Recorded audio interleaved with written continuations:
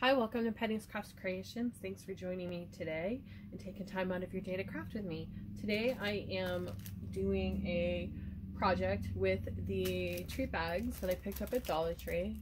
There are four bags per um, package and they this is the code for them in case you'd like to purchase them online.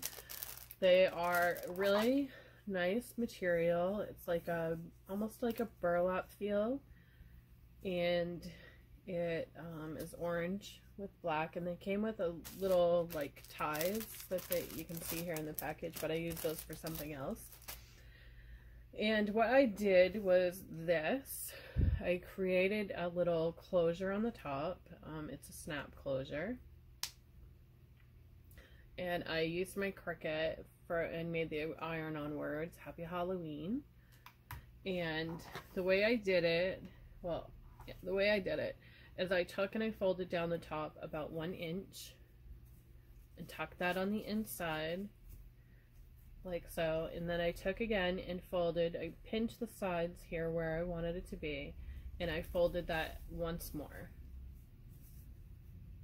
And then I made sure that it was all even just by rolling the edges on the inside of the bag with my thumbs just to make sure that the bag was even then I took it to my sewing machine and I tucked it in and all I did was use the foot of my sewing machine to guide myself all the way around the bag to create that little seam that you see here.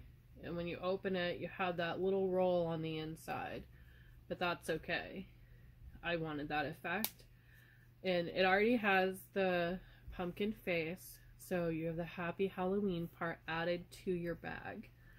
That's what I was going for because I'm going to be embellishing out these two um, Halloween decorations, the little witch's hat and the cat. And they're going to be going in each bag. And I wanted the bag to be sturdy enough to hold them, but I didn't want it to be that long part. I didn't want the longness of the bag itself, like it showed there. So I'm going to be embellishing these up, putting some candy in here as well. And each package will have that with that snap closure.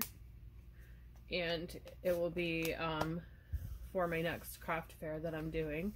So they'll be inside there and it will be a nice cute little gift package that somebody can give to uh, somebody they care for or a coworker um, Halloween treat with a little um, gift bag. So that's my little quick crafty project. Thanks for watching and have a great day.